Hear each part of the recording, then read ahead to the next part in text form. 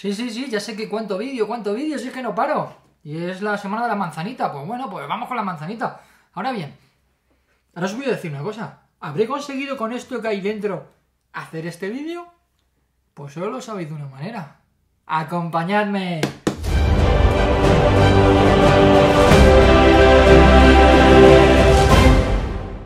La verdad es que cada versión que hace es más fácil quitar el plástico. Pues sí, la verdad es que me gusta esta precisión a la hora de quitar el plástico, muy chulo. Porque con quitar la primera tira el resto es simplemente empujar, tirar y aquí le quitamos. Antes de seguir os tengo que comunicar algo, algo, algo, algo muy rápido. 64 gigas. ¿Cómo puede tener un iPad Pro en 2018 64 gigas de comienzo? Bueno, pues el que me ha tocado a mí tiene 64 gigas. Mira, un poco justo, ¿eh? A ver, no me entendáis mal, va un poco justo para la gente que lo vamos a utilizar muy profesionalmente, para editar, por ejemplo. Para los que lo utilizáis un poco menos profesional, es más que suficiente. Bueno, no os digo nada y os digo todo. Primer iPad sin botón home, o lo que es lo mismo, tenemos Face ID. Aquí se ven los marquitos, fijaros en los marquitos y es casi como mi uña. Vamos a poner la caja en su sitio, que está en la posición diseñado en California. Y aquí tenemos cable, sí, sí, sí, sí. Cable USB tipo C por USB tipo C. Sí, sí, sí, lo que oís. Tenemos USB tipo C. Y cargador nuevo. ¿Y qué tenemos por aquí? Pues un poquito lo de siempre. Tenemos iPad Pro. iPad Pro. iPad Pro. iPad Pro. iPad Pro. iPad Pro y pegatinitas que no falten. Esto lo vamos a dejar ahí atrás y nos vamos a dedicar al iPad Pro. Vamos a ello y nos fijamos en el color, que lo vamos a ver ahora mismo en directo. Color plata. No es cristal. Nuevos conectores por aquí. La manzanita que no falte. Y fijaros, fijaros, fijaros, fijaros, fijaros, fijaros. No hay marquitos. No hay marquitos. Y la cámara True Depth para el Face ID la tenemos por aquí. Unboxing terminado con éxito y vamos a hacer la primera conexión USB tipo C por primera vez. Y vamos a empezar a trabajar con él. Botones de subir y bajar volumen. Esto es aluminio, señores. Todo es aluminio, no hay cristal. Y vamos a encenderlo. A ver, por algún lado se tiene que notar esto. Y vamos a encenderlo. No me dejes mal. Manzanita por aquí. Se tiene que ver. Espectacular, ¿no? Lo siguiente. Hello, hello. Para arriba. Español. Inicio rápido. Vamos a usar el iPhone. Ahí le tenemos. Desbloquear para continuar. Face ID para mí. Continuar. Conectando. Esperando al iPhone. Buscamos. Configurar iPad nuevo. Conectando. Introduce el código del iPhone. Venga, que os lo digo. Mi código es... Vaya. Puede que la activación del iPad dure unos minutos. O tres segundos. Continuar. Face ID.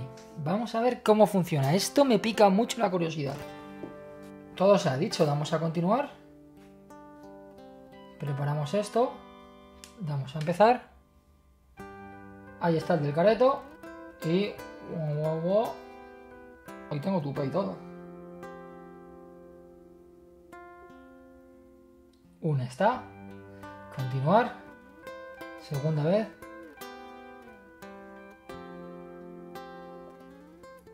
Y esto ya está. Vale. Seguimos al lío, pero esta vez lo voy a configurar como nuevo iPad. Normalmente siempre restauro. Pero es que con 64 GB no me la quiero jugar.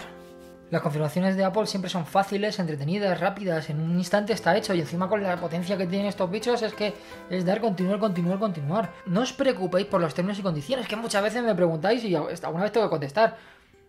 Si os los queréis leer, leeros un rato, pero si no os gusta hay que aceptarlos, así que... Nos va explicando cómo hacer los gestos, lo de siempre. Acceso rápido al dock, lo de siempre. Cambiar entre aplicaciones usadas, lo de siempre. Lo de siempre. Y bienvenido a tu iPad. Tengáis o no tengáis iOS, esto es mundialmente conocido. Y ahora vamos a buscar una aplicación ahora mismo para poder editar este vídeo.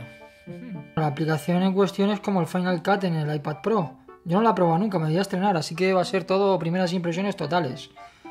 Así que ya se está descargando. Pregunta del millón, ¿qué tal funciona ese Face ID? Pues vamos a verlo. Genial. Fijaros la transición, es un poco distinta. Es distinta a la del iPhone. Es como más lenta. No más lenta de abrirse, sino es una. Es una cortinilla distinta. Y una cosa nueva, fijaros. Sabéis que en el iPhone imposible, ¿no? Pues mirar. Y mirar. ¡Eh! Mirar, mirar. ¿Cara tapada? ¿De qué? Mirar.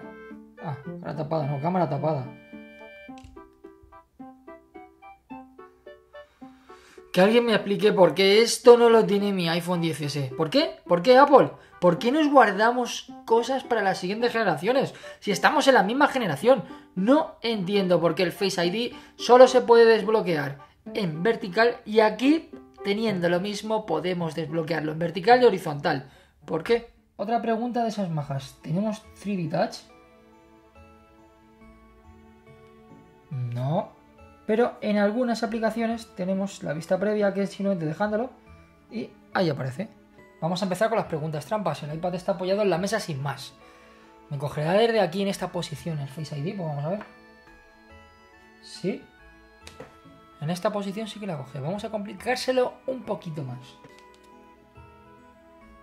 Era lógico que no, es que no estoy dentro del área.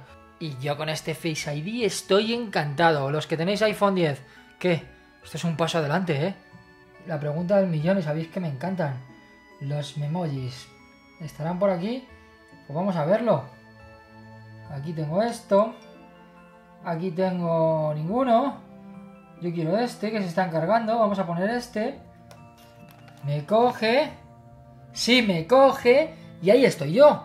Ahí estoy yo. ¿Cómo lo quito? Eh.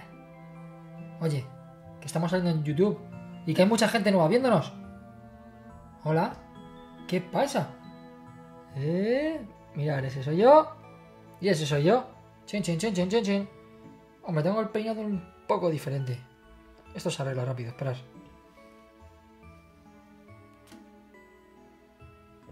Más o menos. Lo que pasa es que el memoji tiene la hora más bonita la mía. Joder. Tengo una pregunta del millón. Dicen que con este A12 Bionic, A12X Bionic, es un pepino y más potente que, como siempre, el 90% de los portátiles del mundo, ordenadores. ¿Será tan potente como para alucinar? Pues vamos a hacer el Geekbench primero.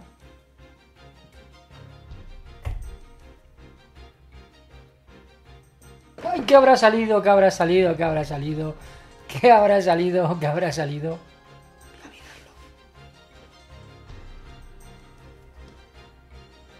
No sé si lo habéis visto, hasta que no vea el plan no sé si lo habéis visto, pero... ¡Mamma mía! ¿Sabéis lo que tengo allí? El ordenador principal con el que siempre edito, el MacBook Pro de 15 pulgadas, el tope de gama, el, prácticamente es un equipo que cuesta más de 3.000 dólares, ¿vale? Es mi fuente de trabajo principal y da una potencia gráfica en procesador. Y vuelvo a decir, esto sea con matices. Y ahora, y ahora, que espero que no se caiga la cámara, acompañadme.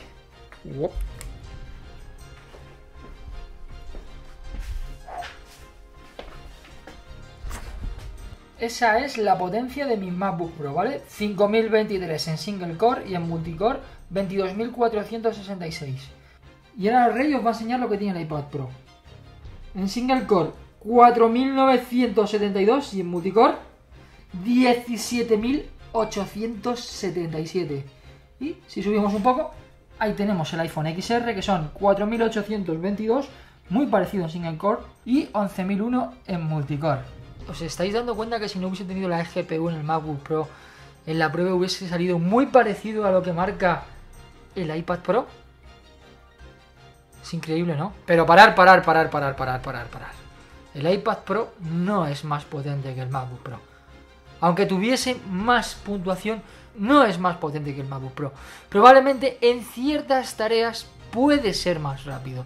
Pero desde aquí y ahora, quitaros de la cabeza totalmente que se acerca a la potencia. Estamos hablando de arquitecturas diferentes, procesadores diferentes, el tipo de ventilación es diferente, la velocidad de procesado es diferente. Este cacharro es muy, muy potente. Mis ojos no han visto un tablet tan potente jamás en mi vida. Pero es diferente la computación, ojo, que quede clarísimo. Y si hay por ahí un informático que quiera utilizar un comentario gigante para explicarlo, quiero dejar claro que aunque el test de resultado del procesador dice que es una bala, hay siempre matices. Pero aún así, Apple, habéis hecho una bestialidad. Bueno, ¿y qué parece si empezamos a trabajar a lo profesional? Abrimos el iPad, cámara tapada, ahí está mi cabezón. Primero, conector USB tipo C. En este caso necesito un USB que tenga tipo C y luego eh, adaptador normal de USB. Lo ponemos en el USB tipo C que ya tenemos. Para meter tarjetas. Y metemos el conector. Esto ya es algo importante. Seguimos. Tarjetita recién sacada de la cámara. Vamos a meterlo en el SD. Y primera prueba que lo está reconociendo. Vamos a continuar. Aquí tenemos todo lo que hay en la tarjeta. Y fijaros qué velocidad para leer la tarjeta de 128 GB. Fijaros qué velocidad para mover la tarjeta a 128 GB. También os digo que la SD lo vale, que es de alta velocidad. Vamos a ver cuánto tarda para ver el flujo de trabajo. Ahora os lo diré, ¿vale? Esto lo vamos a saltar enseguida. Pero quiero ver cuál puede ser el flujo aproximado de trabajo. Ahora mismo tenemos la 1950 según Buddy. Vamos a ver cuánto tarda en pasar 32 GB. Después de un rato y gastarnos un tanto por ciento de batería y ser las 19.58, 8 minutos después, es lo que ha tardado de pasar los 32 GB. Y si nos vamos a álbumes, todas las fotos, ahí tengo todos los vídeos y si lo recordáis, así empezó el vídeo. Bueno, así no, ¿vale? Así. No quiero explorar. Sí, sí, sí, ya sé que cuánto vídeo, cuánto vídeo, si es que no paro.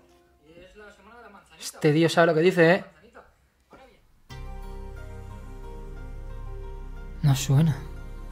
¿Sí? Pues está roto, ¿no veis? Estoy intentando hablar. Llevo miles de vídeos hechos entre una cosa u otra y me puede pasar esto y me ha pasado, así que soy un maldito inútil. No he grabado nada, os estaba explicando lo siguiente. Después de importar los 32 clips y querer trabajar con ellos, los he renderizado, que es lo que hacía este programa, y al renderizar ha habido un momento que se ha petado hablando mal, ha salido la aplicación y me ha dicho que no teníamos espacio suficiente para poder continuar. Así que quiero dejar claro lo que os había dicho. Si vais a coger el de 64 GB, tened claro que más vale que lo uséis para multimedia normal sin querer hacer cosas un poco más especializadas, porque es insuficiente. Hay que pasar al de 256 GB. Recomendación total. No sé si estaba diciendo lo mismo, pero eso es lo que tiene no grabar con el micrófono. Y para seguir la tradición me habían quedado aquí unos clips geniales, os ibais a partir, os ibais a reír. Pues nada, estoy desenvolviendo el Apple Pencil de segunda generación. Es genial, ahí estoy diciendo que ¡Uh, qué pasada! ¿Estáis viendo? ¿Estáis flipando? Seguro que os gusta a todos. A ver si me cae. ¡Oh, no, no se me cae! Bueno, en resumidas cuentas, este es el Apple Pencil y vamos a por él. Y aquí, como no sale mi careto, pues bueno, aquí ya estaba sincronizado, me lo conecta, le enlazamos, damos que sí. Y fijaros en la escritura, qué limpia, qué real. Fijaros que el táctil hace que salga lo que queramos usar.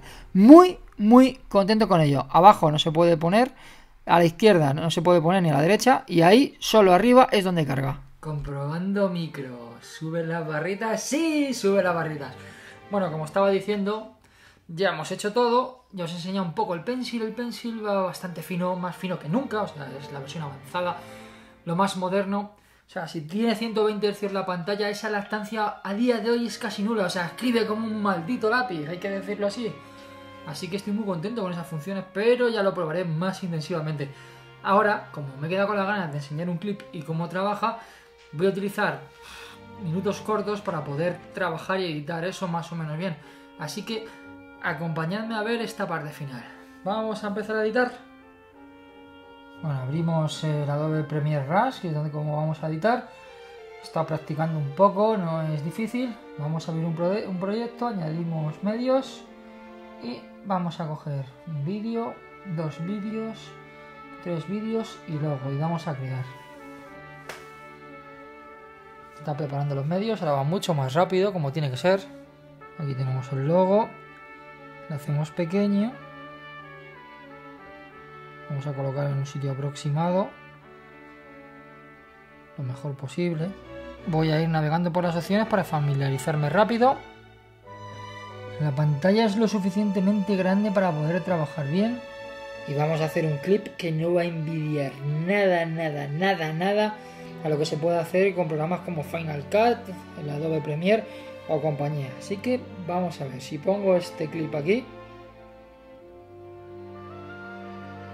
en el próximo vídeo, lo que pasa si pongo este clip aquí, porque no vais a creer que hago un vídeo de 20 minutos, ¿no? Lo siento.